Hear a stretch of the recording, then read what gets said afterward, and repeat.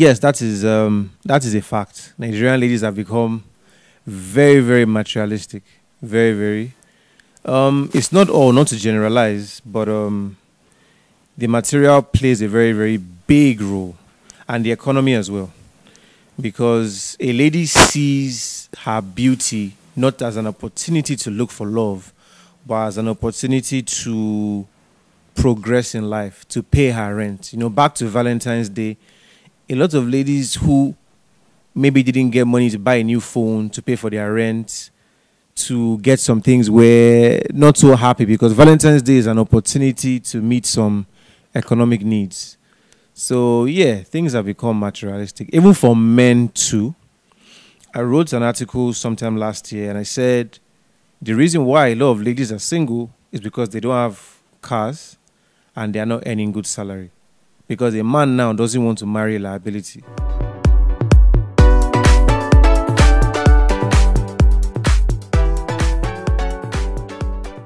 Yes, men are very materialistic, especially men in Abuja and Lagos.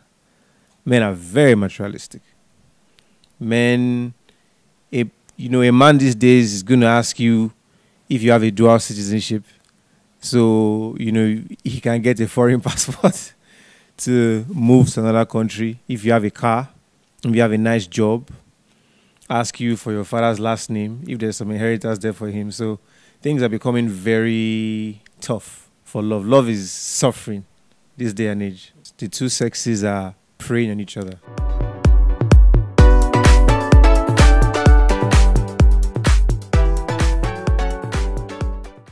Um, there are still a lot of people out there who are looking for true love. So how do we get true love? Um, some people who are looking for true love are still going to find true love, but um, I think it's very, very rare. It's very hard when you are looking for something and the thing is not looking for you back, or you are looking for something and the thing is not giving you the attention you want back. So, a man, for example, you are looking for true love, but the lady is looking for comfort and how to make her life you know better. So that's kind of tough.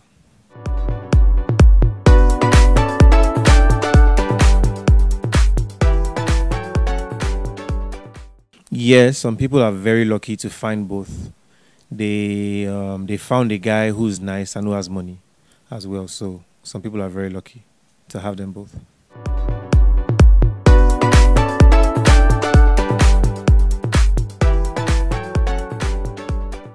You know, that's what I always say. How do you know if I'm not married? I don't have to post my relationship on social media. I'm saving that uh, answer for later. I may just shock you people one day and say, I've been married for the past four years. You never know.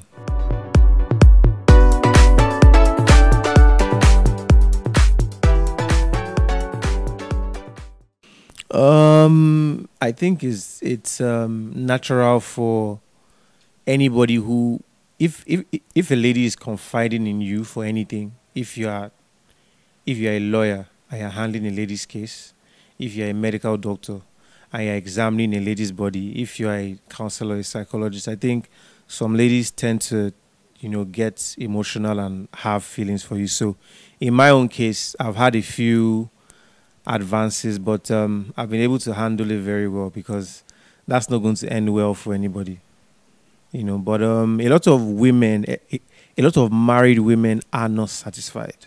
That's one of the issues I talk about on my blog as well. A lot of married women are not sexually satisfied just because, in summary, their husbands are tired. Their husbands now want a variety. So they are left lonely. Some of them send me messages and say, my husband hasn't touched me in uh, in six months.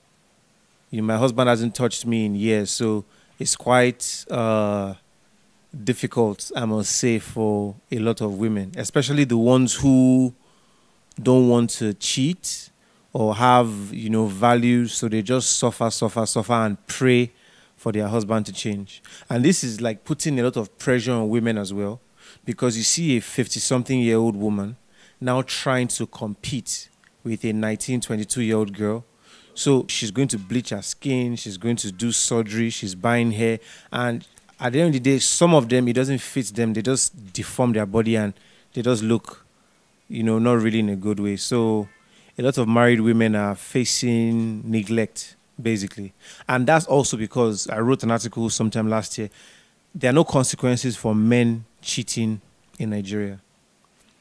I have friends abroad that when we go out in America, 9 p.m., their wife calls them, they are rushing home. Joro, let's start going home. I'm like, why? Because my wife is going to kick me out. My wife is going to take me to court, take the cars, take the house, take the kids. But in Nigeria, you cheat, what's going to happen? There's no consequence. Little consequence. So men are, you know, enjoying themselves here. So it's uh, it doesn't really favor the women.